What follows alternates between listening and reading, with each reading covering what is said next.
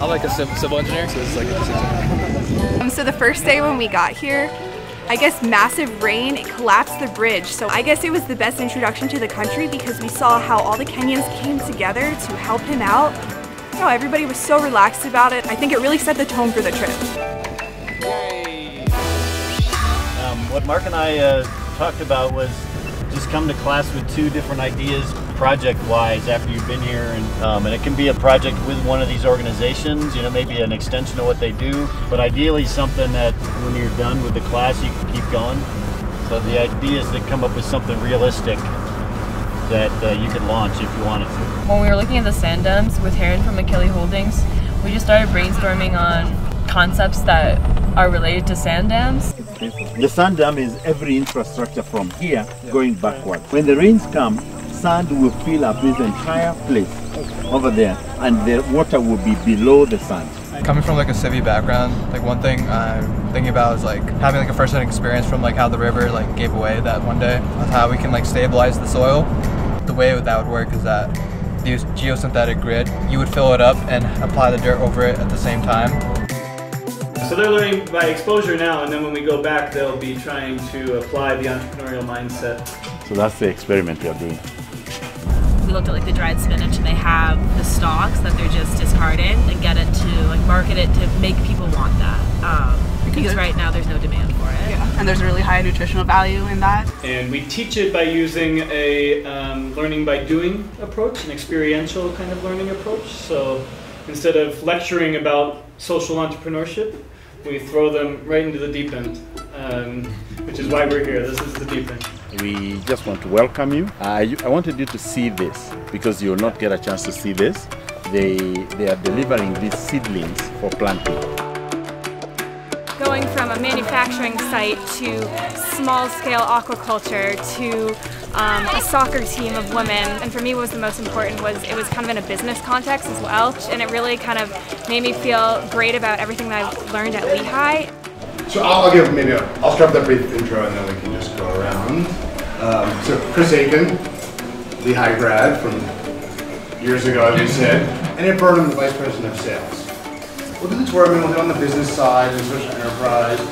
You know, you're running for profit business, it's sustainable, certainly in the environmental impact, and this was born out of being an environmental company saving trees. That is our toilet, our design.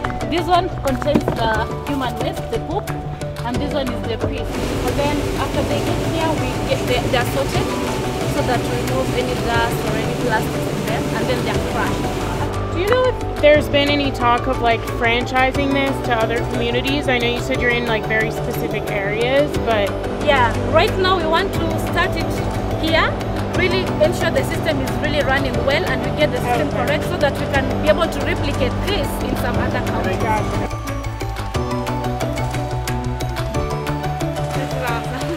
This is it's wet.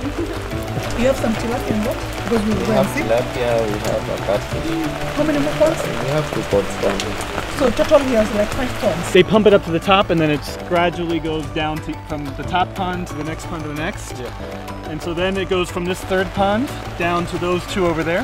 Right. And then after that, it's by gravity, it goes and it waters his vegetable garden. Pipe from up there comes here. Amazing. I got to see pigs, I got wet. Best day ever.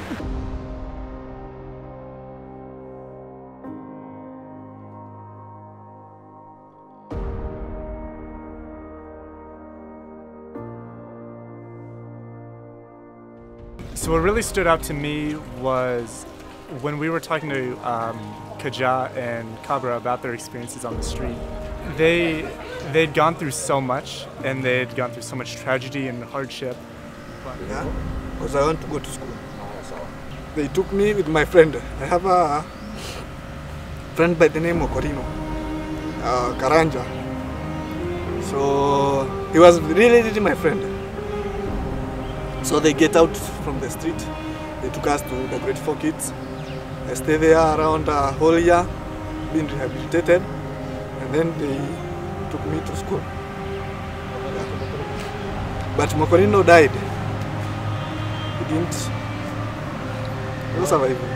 but they always seem to, I guess, persevere and kind of overcome their, their struggles and turn just their misfortunes into into something that really that really kind of helped them and their families uh, persevere. And I met um, a boy who was 16 named Kevin, and just had one of the better conversations I've had this trip with him. Um, and I was just very touched at how open he was. Um, and I think that's probably what I'll remember the most. It's just, it's everyone's a human. You just make a connection with people, and it, it's really like, special. That's all. Uh, yeah. So uh, this is a tradi- uh, every traditional Kikuyu ceremony. Uh, there is usually goat slaughtering. So this ceremony is a sort of farewell to our friend Mark Oles, Todd Watkins, and his students who celebrate the times that we've had with these guys. And just now, like as we're doing a goat slaughter, everyone's in the room dancing, and it's just so celebrated, and I, I'm really enjoying it. I had a really good time. dance party.